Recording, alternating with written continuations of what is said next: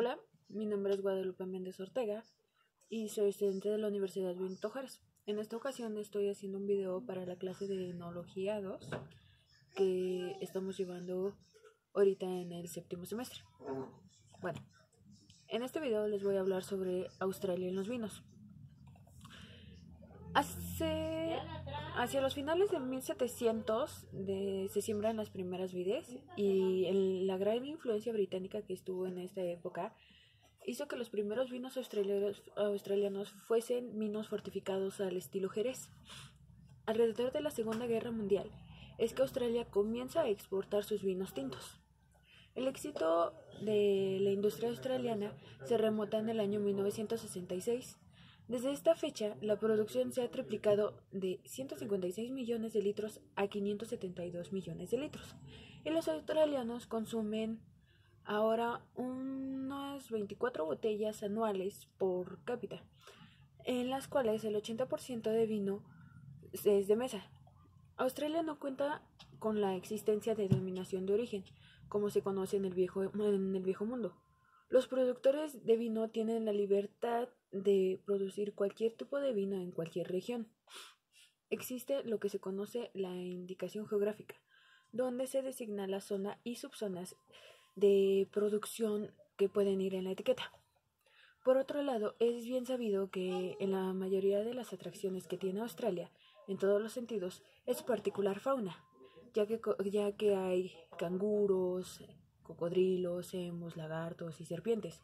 Son solo algunos de los animales que regularmente te puedes topar en, en la calle, eh, en los parques o incluso en, en, en charolas en los supermercados. Australia es quizá el único lugar en el mundo que se acomoda sus dos estandartes. Así es, tanto el emu como el canguro son iconos de la identidad y nación. Son asimismo de las carnes más famosas y codiciadas. Una de las ventajas principales de Australia, aparte del clima eh, glorioso, es que el país es una isla, por lo cual los mariscos son una parte fantástica de la dieta australiana. Y lo más importante es que también son muchos más bajos en grasas que las carnes comunes. Además, la presencia del atún, el salmón, la langosta y camarones, también hay otros tipos de, de comida marítima, tal como el cangrejo de barro. De hecho, hay más de 6.000 variedades de especies de pescados y mariscos capturados y vendidos para el consumo, por lo que se tiene mucho de donde elegir. Durante dos años el mercado ha experimentado una especie de montaña rusa. Sin embargo, Australia ha logrado relativamente una buen, un buen performance y está mejor posicionada que la mayoría de los competidores para el 2020 en cuestión de, de vino. En el año 2017 hubo una caída de la cosecha casi récord a nivel mundial según en 2018 por la segunda cosecha más grande de los últimos 20 años. La Organización Internacional de la Vid y los Vinos describió este periodo como extremadamente volátil y su estimación preliminar de cosecha para el 2019 se ubicó en el promedio de 26.3 millones de litros. Australia es uno de los principales países de vinos de calidad del mundo y tiene 170.000 hectáreas de cultivo de viñedos repetida, eh, repartidas en 62 zonas eh, vinícolas reguladas. En los últimos 20 años ha aumentado su superficie eh, vitícola al 160%, mientras España y otros países europeos han reducido sus plantaciones en un 25%. Australia produce alrededor de la tercera parte del vino que España solo con 170 hectáreas de viñedo, es decir, casi ocho veces menos de la superficie vitícola de España. Australia es el sexto país más grande del mundo en superficie. Es el continente más seco, menos poblado, más plano, con los terrenos más uh, mayor, con mayor antigüedad y los menos fértiles. Solo los extremos sureste y suroeste tienen un clima templado. Parte eh, selva tropical, pasto y parte desierto. Las diferentes cepas que tiene y las digamos que las más reconocidas en Australia en cuestión de cepas tintas es la cepa Syrah junto con la Cabernet Sauvignon, Pinot Noir, Merlot, Garnache entre otras, pero esas son las más comunes.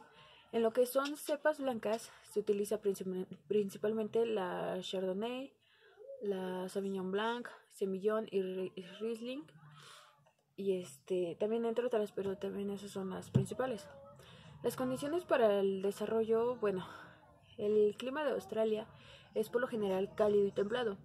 La mayor parte del país eh, recibe más de 3.000 horas de luz solar al año. El sol está por todas partes la mayoría del tiempo del año. Pero al ser un, un, lugar tan enorme, muchas zonas tienen características climáticas muy particulares, dependiendo de la latitud en la que se encuentren.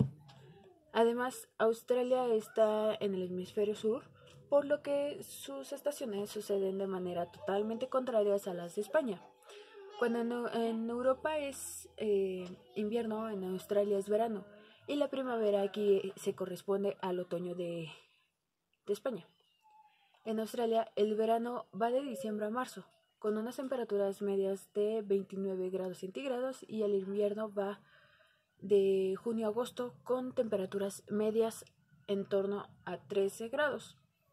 También una de las preguntas que me, que me realizó fue que si yo consideraba que Australia tenía competitividad con los demás vinos del viejo mundo. Y sí, efectivamente, Australia está compitiendo cada año por ser uno de los mejores exportadores, eh, los mejor, el, de los mejores en realizar vinos año con año. Incluso tiene una meta de, eh, para el 2025 que es de duplicar su, sus 572 millones de litros anuales de producción. Lo quiere hacer al, al doble. También otra pregunta que, me, que me, me hizo es que si, aparte de Australia, me agradaba otro tipo de vino. Y sí, también eh, el vino mexicano tiene una cierta competitividad que me gusta mucho, su sabor es muy agradable, lo que es, y más el vino Perseus, es un vino muy rico en, en toda la palabra, en toda la extensión de la palabra, es muy rico. Y bueno, eso fue todo por hoy con Australia en los vinos. Espero les haya gustado y muchas gracias.